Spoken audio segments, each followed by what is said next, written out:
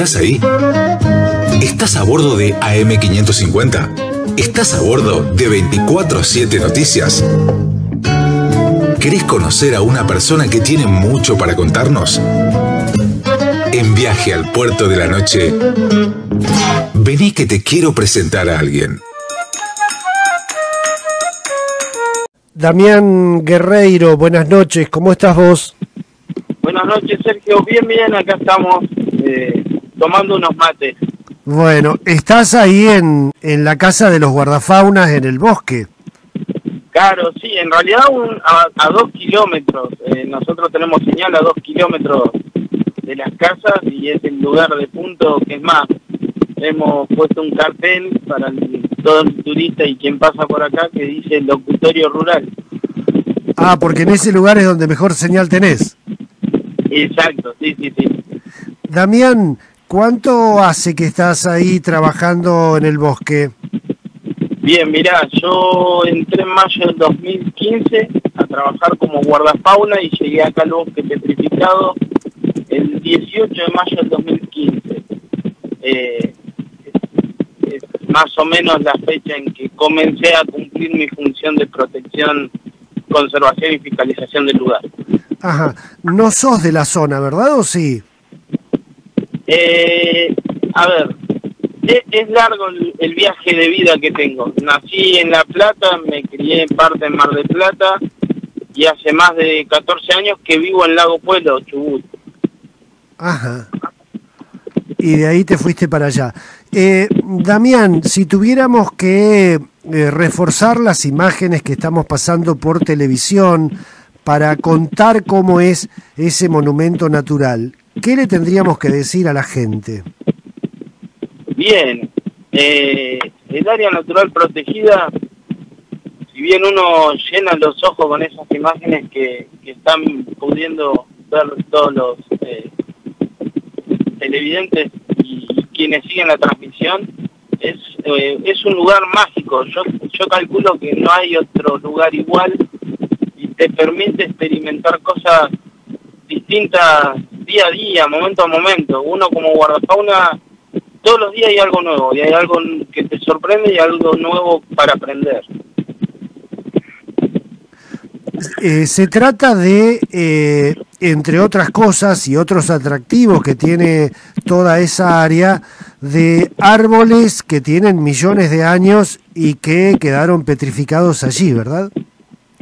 Claro, esto, si hacemos un compendio de lo que fue la historia de, la, de la Patagonia en sí, hace más de 65 millones de años, lo que era hoy la estepa del sector de la provincia y la cordillera del sector de la provincia no existían, esto era todo un sector subtropical con ríos de dimensiones mucho más grandes de las que tenemos hoy en día. Y estos árboles venían a ser araucarias y palmeras de un ambiente subtropical que se encontraban en los bosques hacia el centro de la provincia yendo hacia la cordillera, ¿no? Claro.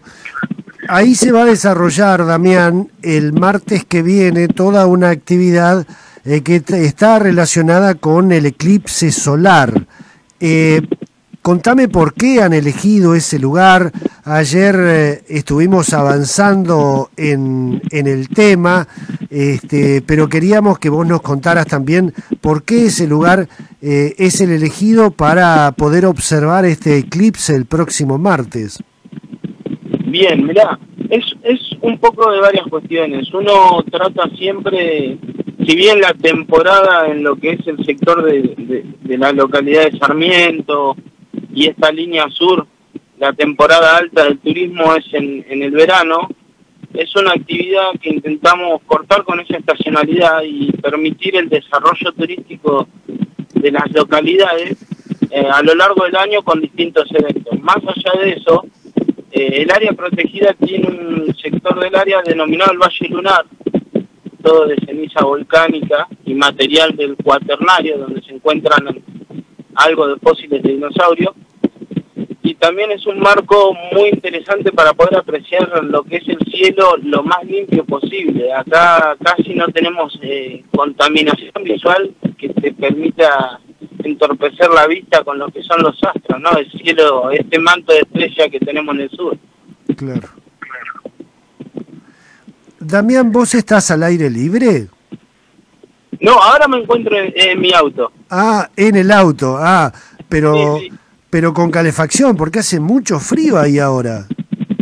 Sí, obviamente, eh, pero es parte de uno, uno aprende a disfrutar eh, las distintas cosas que te da esta profesión. Yo siempre rescato, por ahí uno al ser guardafauna la gente te ve como una persona de conservación, pero también uno lo disfruta y, y uno, yo siempre le digo, trata de transmitirlo a las nuevas generaciones que eh, uno tiene que elegir lo que uno le haga bien, lo que lo satisfaga por dentro, no por una remuneración o por el día de mañana, sino que yo amo esto y por ahí la nieve me encanta, ver este cielo estrellado con frío me encanta y por ahí levantarte a la mañana, abrir las cortinas y tener un guanaco, un choique o zorrinos dando vuelta en el área también te fascina. Claro. Sí, sí, sí, te tiene que gustar. ¿Qué edad tenés, Damián? 32. 32. Eh, ¿Cuántos eh, compañeros de trabajo tenés ahí en el parque?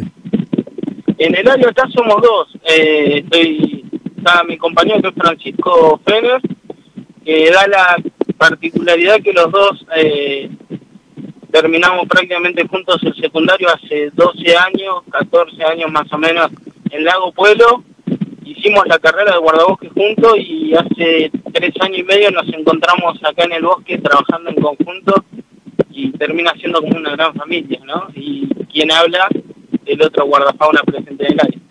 Claro, qué lindo. Eh, ¿Cuáles son las actividades de, todos los días que tenés? Eh, ¿Recorrer, algún cuidado, la orientación a los turistas? ¿Cómo es eh, la vida cotidiana ahí en el parque, sobre todo ahora en invierno? Bien, en cuanto a lo que es el invierno, por ahí lo que, en, cuanto al turismo en sí, merma bastante. Tal vez vos los fines de semana tenés un poco de movimiento y atendés al turista, le brindás asesoramiento, le das la indicación correspondiente de cómo recorrer el lugar y después el día a día es control, fiscalización del lugar, mantenimiento de, de lo que cuenta el área, que es un museo, con centro de interpretación y una sala de audiovisuales, eh, los baños públicos, mantenimiento del sistema del agua, eh, tenemos trabajo todos los días, el vehículo oficial que hay que cuidarlo porque yo siempre rescato que el Estado somos todos, así que entre todos compramos ese vehículo y si bien lo puedo usar yo, cuanto más lindo y más cuidado estén, más nos va a servir a todos, ¿no? Totalmente, totalmente.